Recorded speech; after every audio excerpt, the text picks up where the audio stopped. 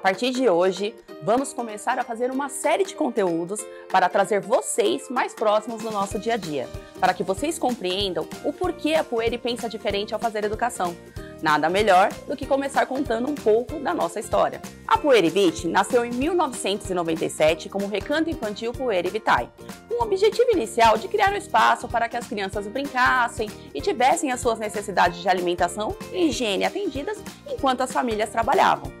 Com o tempo, os pequenos que ali estudavam trataram de mostrar que na educação infantil a aprendizagem é indissociável da própria vida, das brincadeiras, do cotidiano. Com uma nova direção, em 2002, a Poeira Vita deixou de ser um espaço apenas para ficar e se transformou em uma escola em que a equipe também estuda, se dedica, investiga e está constantemente engajada para oferecer o que existe de mais atual na educação uma instituição de ensino pautada nos princípios que consideram a importância do ambiente, das relações sociais, da afetividade, que são as bases para a nossa prática pedagógica.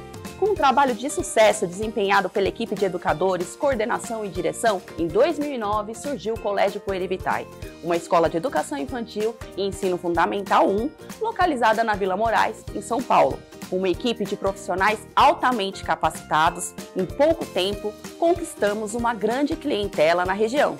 E vamos nos consolidando com princípios de educação pautados no protagonismo da infância.